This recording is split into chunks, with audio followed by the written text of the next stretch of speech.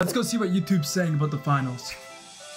How did one of the most advanced and unique shooters to ever launch fail so fast? Well, he knows something about failing. It's a trend to hate on this game, man. It's not that bad. This game isn't gonna die, right? mm. The cheating in this game is out of hand. It needs to be fixed. LeBon Bon, my beautiful little boy, was devastated after his ranked match against the Live Wires. It'll be okay. It will survive. I mean, what? The finals is averaging 15k. There are so many games which have gone even lower than that and still managed to come back. Just look at Unturned. There's also DayZ, Rust, Stardew Valley. Any game can come back.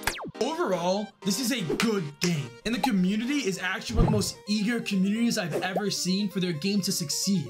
They want it to blow up on Twitch, to blow up on YouTube. It just isn't. And it's not all the game's fault. This game has a decent amount of issues, but there are two big issues holding it back from becoming a bigger game. The second one, in my opinion, is the slightly bigger issue, but number one is the cheaters. I'm sure you guys have seen the clips, but if you haven't, they were atrocious. My 90 year old grandma could do a better job at detecting some of the people that were cheating than the anti-cheat could. And I'll give Embark credit, the most recent patch was pretty good, but within a week, all the cheaters have came back. And it's never not gonna be an issue. It's always gonna be a constant battle but it's a battle that they need to really focus on. Because if a new player's first impression of the game is some cheater spinning around, shooting in the air, and just killing everybody in the map, they're not going to want to play the game. And I'm not a game developer nor a cheat expert, so I can't give you the one solution to solve this problem. But at least community-wise, when I did a poll, most people were fine with the more invasive anti-cheat if it meant less cheaters. Although the second most chosen choice was a better report system, which I understand is hard because you need to hire more people and Embark is a smaller studio. So a better report system, although maybe implementing some sort of AI or something like that. And some honorable mentions would be balancing, the rank system, and just the casual play. And what I mean by that is the base of this game is great, but some of the game modes and the way they work, especially how ranked works, just, it won't work.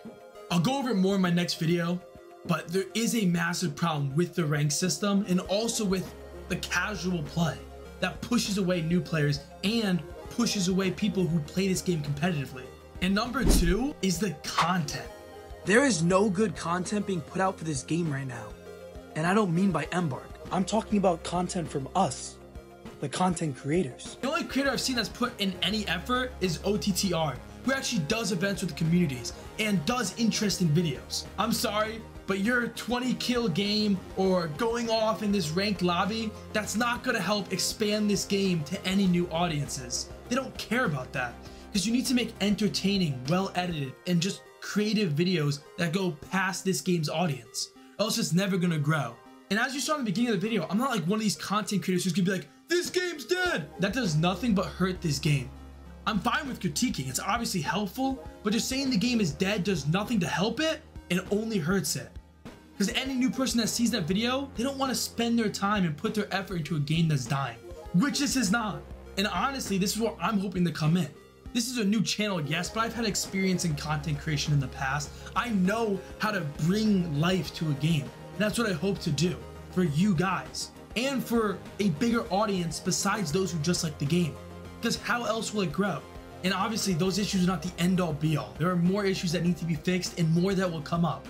But I promise you, if the content creation for this game gets better, and if Embark works in that cheater problem, this game will be in a much better state, and I promise you, will soar in player count. This game truly does have so much potential, but potential doesn't mean anything unless Embark puts in the effort to reach it.